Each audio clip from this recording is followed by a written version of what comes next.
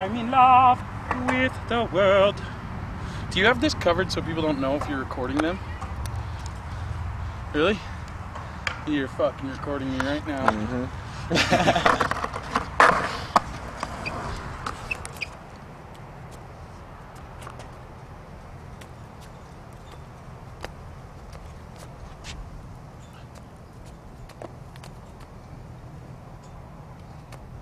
Hold it.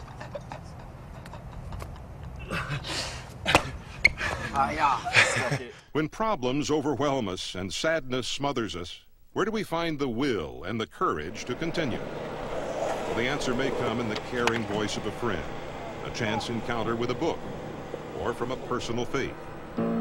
For Janet, help came from her faith, but it also came from a squirrel.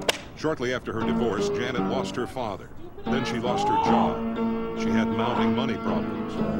But Janet not only survived, she worked her way out of despondency, and now she says life is good again. How could this happen? She told me that late one autumn day when she was at her lowest, she watched a squirrel storing up nuts for the winter. One at a time, he would take them to the nest. And she thought if that squirrel can take care of himself with a harsh winter coming on, so can I. Oh, problems into small pieces, I was able to carry them, just like those acorns, one at a time.